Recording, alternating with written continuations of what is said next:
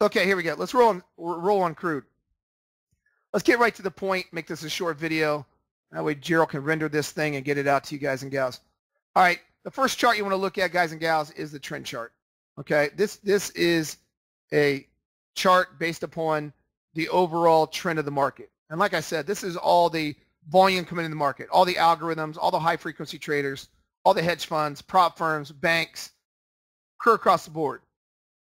So what we want to do is we want to see what the trend of the market is and buy pullbacks in the market. We do not want to counter trend trade the market. We know that counter trend traders lose over and over again. They're not educated enough to buy pullbacks with trend. Okay, they trade lagging indicators. So we can prey on the counter trend traders. We can prey on the wrongly positioned traders. We want wrongly positioned traders in the market to create order flow for us. So how do we do it? I have moving averages on the trend chart, and this trend chart tells me there's three moving averages. Moving averages, like I said, everybody knows this, are worthless by nature. Can't buy them for support and resistance. Can't use them for crossover systems. They're lagging. Great for trend direction if you have a trend chart. I have a Renko bar here. This is not a standard Renko bar because unlike this, I believe I'm the only Renko bar in the entire world that has actually a major trend filter built into the Renko bar. We actually programmed this and built it to our server where that's the unique thing about this whole Renko bar. It separates itself from all the other vendors and uh, um, different software programs out there because it keeps your keeps you on the right side of the market. So how do we know that we're buyers or sellers in the market? Here's an easy way to get in and all futures, stocks, forex. Like I said, you can even trade the OEX options with this. Whatever you want to do. If you get the trend right, you're 50% there. And then I'll show you how we get into the exact bar. So what we want to do we want to see where the trend is. So I have a smaller MA on the trend chart, and this is plug and play on our templates, any market. So what you want to do is I look at the open versus close of the candle. I don't look at the wicks. The highs and lows are irrelevant to me. I think those are for amateur traders. Let them worry about the highs and lows. I'm worried about the open versus close. Professional traders with experience like myself that's been in these markets since the late 80s, early 90s, we know open versus close is a key to success. So we want to know the, what the body of the candle is, not the highs and lows of the wicks. The best way to do it, when you get a 90% candle close, here the arrows, where the arrows are, this started the whole trend up in crude. You see a 90% of the body of the candle close above my small MA. It doesn't have to close above, above all three, but once you do get above all three, you're in the hottest situation possible. The temperature is very hot in the market. So we know that we're in an uptrend. Now, if I look from 445 this morning when it started its uptrend, we've been in an uptrend ever since then. I've never had a 90% body of the candle close below my small MA. And we're above all three MAs, which is even stronger. So that tells me one thing. It tells me that I want to buy the retracement and I do not, no matter what, take any counter trend trades or sell or short the market. If I short the market or go against that overall trend, then I know that I am wrongly positioning myself in the market and I deserve to get stopped out. In other words, if you go against my trend filter, you deserve to get stopped out because you are totally going against the tape and fighting against the overall market trend because this it has a filter built into the Renko bar that will allow you to get on the right side of the market. And that is key to success with my system is that you must watch the trend filter. So the trend filter was up, but that's not enough. How do we get into the markets with the trend filter to the exact bar with low risk? If I the first red bar that prints tells me that I'm, I have a lot of wrongly positioned traders. I got counter trend traders coming in the market.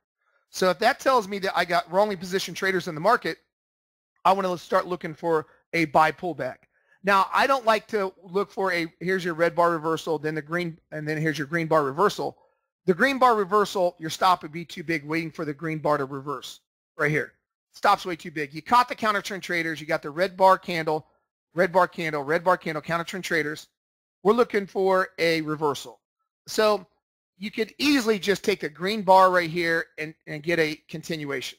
But your stop's going to be too big. You don't want a 20 tick stop. So what I want to do then, after I get the red bar that reverses against the trend filter, I want to look at my Fibonacci arrows. These are automated fib arrows that pop up, and I want to know exactly what arrow to buy or what arrow to sell to the exact bar. I want to pinpoint to the exact arrow way before it happens. I'm talking 15 minutes, 20 minutes, half hour heads up. I don't want this lagging indicator with moving average crossovers or divergence or the MAC or there's all this baloney out there. I want to see what is the heads up on where I want to look for retracements. As soon as this red bar printed on my trend chart, it told me get ready for a trade. That bar closed, it told me as a trader, I'm going against the trend filter. The counter trend traders are going against the trend filter. I want to get ready to post a trade. Look for a trade right there, right when that bar closed look at my Renko bar over here then. What I want to do is I want to look at my arrows. At that time, we are sitting right here at the bar closed red right there. So look how it matches up. Now let me show you how this works. I want to look for a Fibonacci retracement now, and I want to try to get long the market. So what I want to do is I want to wait for red, red, red, red. The easy way to do it, look where your symmetry dots are. I, do have symmetry dots as a, as a, a separate one-time license fee for the for your life. Um, but they by themselves are worthless. You don't know which one to take. So with this trend chart, now with my arrows, you know exactly which symmetry dots to create support and resistance, and you know exactly which arrow to take. So once you get a red bar reversal, you're looking for a what? To come within two ticks of my symmetry dots down here. That's support. It can break an inch or intrabar. Remember, we don't care about the wicks. We care about the body of the candle as long as it, doesn't close a whole body candle cl close below my symmetry dots. I'm looking for an arrow to fire. There's my arrow. Once that arrow fires, it tells me I'm in the optimal position to get long the market because that is a Fibonacci retracement. If any of you are uh, looked at any of my earlier work, when we first opened the room, I had blue and red dots on what's called JaySignal.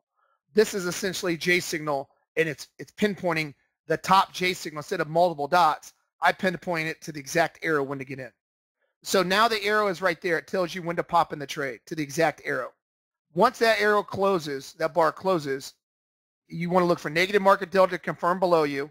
It'll just turn a red or green bar. You want a green bar below you. Once it confirms that you are green with an order imbalance, then you know to get long. Your stop loss will be two ticks below that swing low. There's your stop loss. Your target can be symmetry dots here to scale, and symmetry dots here to scale. So in that last trade, just a nice big move up. Now, let's say you missed that trade. Let's go to the next one. Green bar, green bar, green bar, green bar. Look at our trend chart. First red bar that comes in again. What does that tell me? It tells me that I'm catching the wrongly positioned traders again. Now I got the counter trend traders again. So now that I got the counter trend traders again, what do I want to do? I want to pop in the trade again. I want to pop in the trade and see these counter trend traders get smoked again. And I want to look for what? I want to look for the market to come and re retrace, come down within two ticks. It can exceed my symmetry dots, just not close a candle below it. And I want the arrow to fire. What do we get? The automated arrow fired again. Right there it is. There's your entry after the bar closes. Your stop loss is two ticks below the swing low. There you go. There's your scale point on symmetry dots, and we'll try to get to the next set of symmetry dots. So that's two for two based upon waiting for the red bar to reverse to show me when counter trend traders are coming in. Now, what if there's no red bar reversal? Let's say the market's way too strong. Let's say the market's just screaming up. That's okay because I'm smarter than my trading opponents. I know that I just don't have to take deep retracements. I can take shallow retracements from a break retest. So what I want to do is this. Let's say, look, look over here. Here's my trend filter that turned up, right? And look how green bar, green bar right here. Green bar, green bar, green bar. As this bar right here, this bar right here, as this bar, as this bar right here, tick, tick, tick, tick, tick, ticks, back down and touches my small MA. If it touches my small MA, I want to look for a arrow to fire on my 3 sim or my 5 sim Renko because I am not, I don't have a red bar reversal, but I got a momentum setup. The easy way to see it, and I teach traders this all the time, is called a break retest on the opposite side of symmetry. Very easy to see. You'll break through the opposite side of symmetry when the market's screaming up. You'll retest symmetry, and you'll get the arrow to fire. Look how gorgeous it stopped to the exact tick on my symmetry dots. If that isn't beautiful or what, I do not know what is. Look at that. Boom. There's your arrow that fired. There's your exact bar. So this is a momentum setup because I do not have a red bar reversal on my trend indicator, my trend filter. I got all green bars. So what I want to do is I want to see when I have entries. Now my arrows fired at two spots this morning. It fired here for a successful, successful trade and it fired here. So my system right now is one, two for two on momentum trades and two for two on retracement trades. It is four for four since 445 this morning. And that's how you trade the markets. You pinpoint exactly when you want to buy and sell the markets based upon counter trend traders. Let's take a look at gold this morning. I'll show you gold. Very simple setup, not hard. Right here, the trend filter started out at, right here, started our trend up. So if you're a gold trader this morning, the trend started right there, 90% candle close.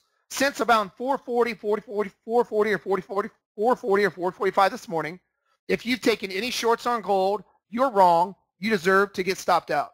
Because you're what? You're thinking you're smarter than the market and you're going against the overall trend of the market. Remember, my trend filter will not allow us to not miss any big trend trades because the filter is very sensitive. I have a very sensitive filter built into the trend filter, and it's a longer Renko bar. So we know that if we follow the trend filter, it's going to put us on the right side of the market. We just got to look to buy retracements in. So let's look where the counter trend traders came in. Counter trend traders came in here this morning on gold. There's your counter trend traders. And what happened was we're looking for a pullback. And we're looking for a pullback to symmetry dots. This low right here at 1229. Did it fall right on my symmetry dots? You know it. Caught the exact low right there.